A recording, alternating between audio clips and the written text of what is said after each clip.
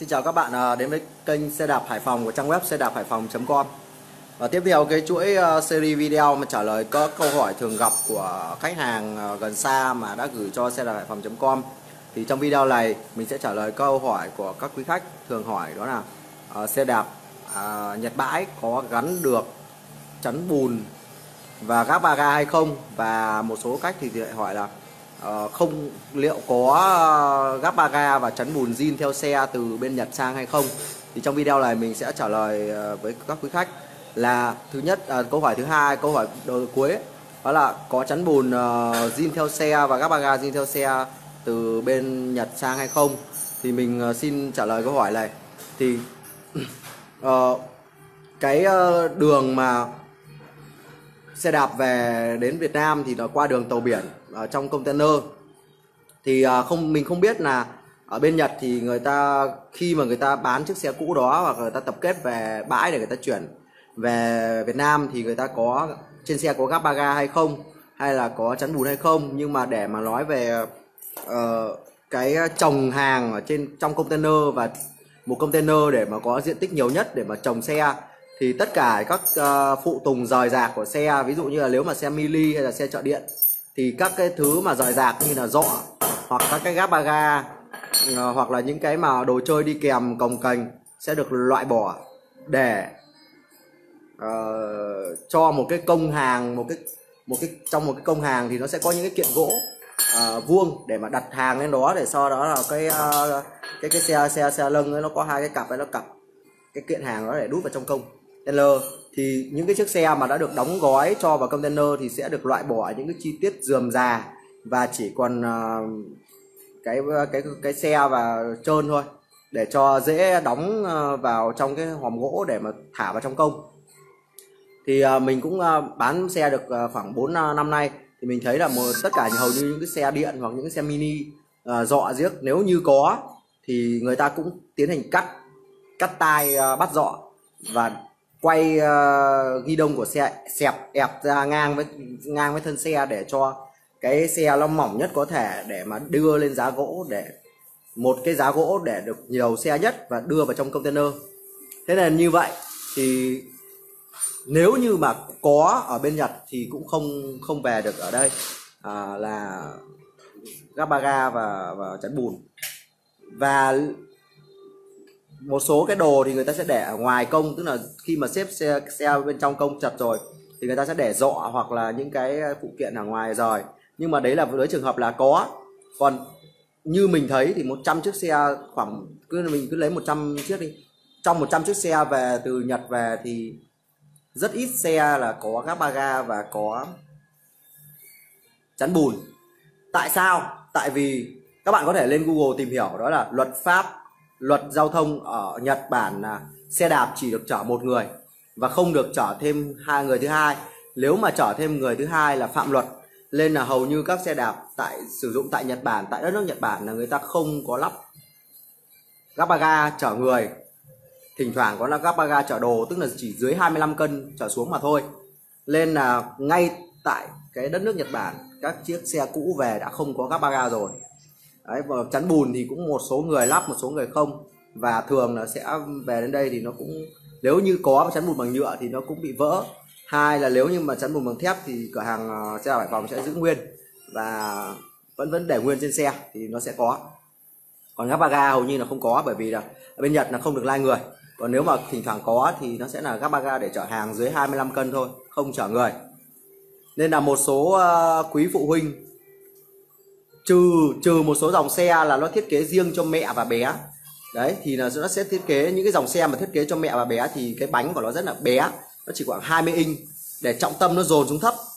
Thì sẽ giữ dễ giữ thăng bằng hơn và khi mà lai em bé thì cái ghế của Nhật nó sẽ cao trên đầu em bé. Để mà khi ngã thì cái ghế nó sẽ bao bọc đầu để mà chống những cái uh, tác động của mặt đất khi mà bị ngã để đập đập vào đầu ờ, trẻ em. Nó rất là an toàn như vậy chứ còn không một số uh, các anh chị mua xe về và có hỏi xe đạp hải phòng.com là cái tư vấn là lắp gác ba ga đằng sau để mà chở con đi chơi. Thì như mình tư vấn thì thật sự là không lên. Bởi vì thứ nhất là cái gác ba ga đó nó sản xuất ra là chỉ để để đồ dưới 25 cân trở xuống thôi. Còn nếu trẻ em nặng nhẹ dưới 25 cân cũng nếu mà nếu mà nói về cân nặng thì ok rồi nhưng mà nói với hai về độ an toàn là sẽ không có cái thiết bị gì để chống uh, cho trẻ em chống trẻ uh, chân của trẻ em cho vào uh, các cái phần uh, các cái phần uh, như là số ở đây này rất là rích rắc Đấy, nếu mà chân của trẻ em mà cho vào đây thì rất là là, là, là phức tạp luôn và sẽ bị uh, chấn thương ngay. Số má ở đây rất là rích rác và không có chỗ nào để chân cả. Nên là túm lại là mình sẽ tư vấn khách hàng là hoàn toàn là không lên lắp gắp ba ga để chở trẻ em đằng sau. Còn chắn bùn thì có thể lắp thêm. Đó và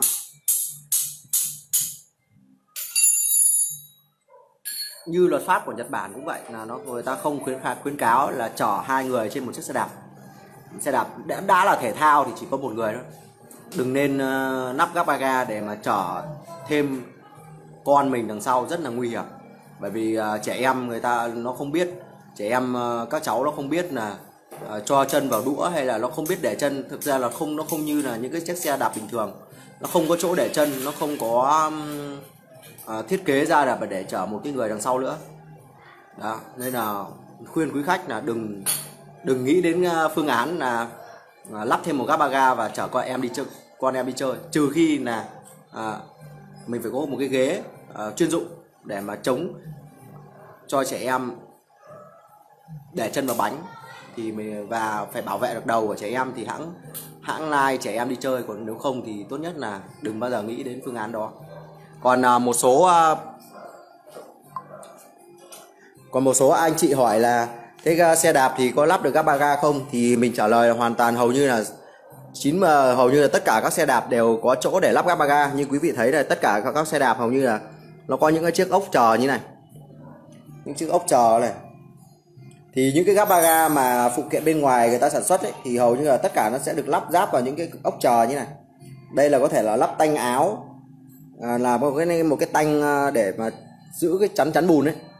Hoặc là có thể lắp uh, chân của các ba ga để chống lên đây. Và đầu này sẽ được à, bắt vào đây. Còn nếu không có cái lỗ này thì có rất là nhiều cái loại các ba ga các ba ga cặp cọc yên. Rồi uh, cặp vào đây rất là nhiều loại.